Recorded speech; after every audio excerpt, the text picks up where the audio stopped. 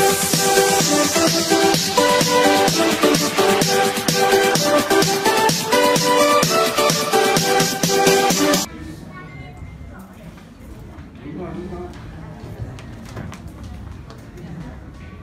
Hường xin kính chào quý ông bà, anh chị em, xin Chúa hãy ở